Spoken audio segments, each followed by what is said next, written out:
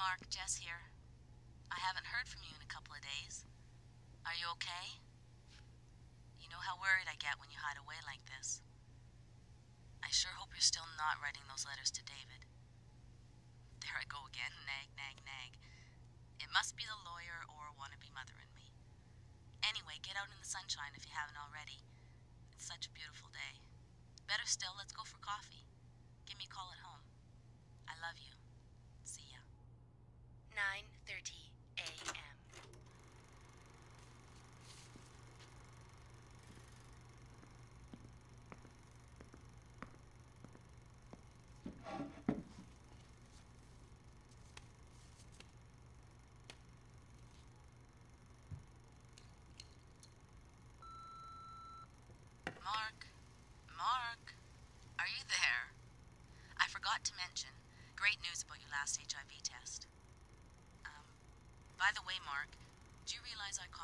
Up in two days? Let's talk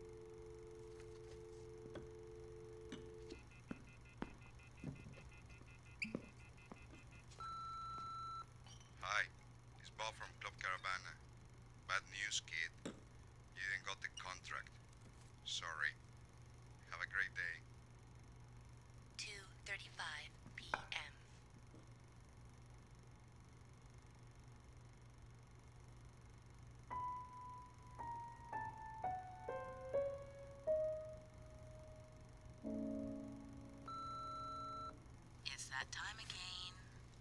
I need your sperm, baby. Seriously now. I've been thinking that if you still can't decide, I'm gonna give this baby thing up. So, give me a shout, okay? Remember, this child is for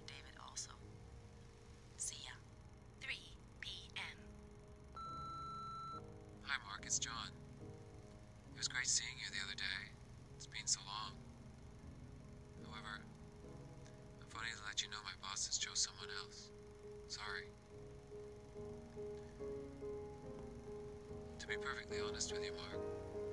Before David died, your work was so incredible and full of passion. It's not the Mark that I do. Give me a call,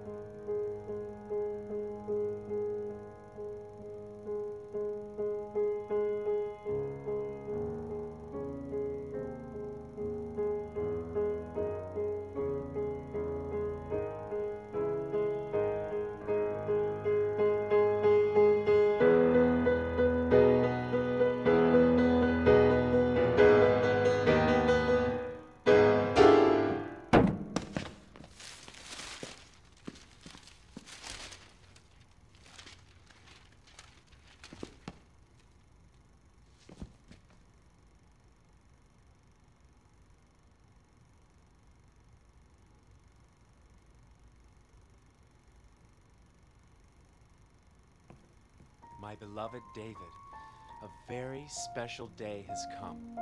Remember, I always said that when I closed my piano, that was it? Well, I quit.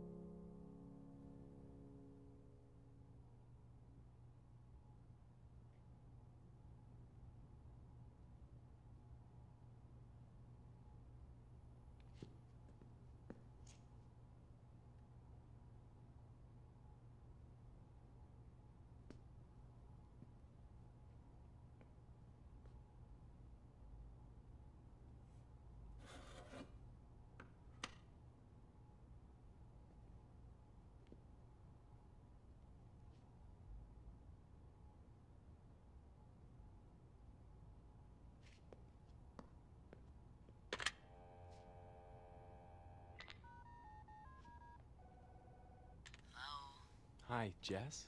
It's Mark. Can I come over now? Sure. Give me an hour. Okay.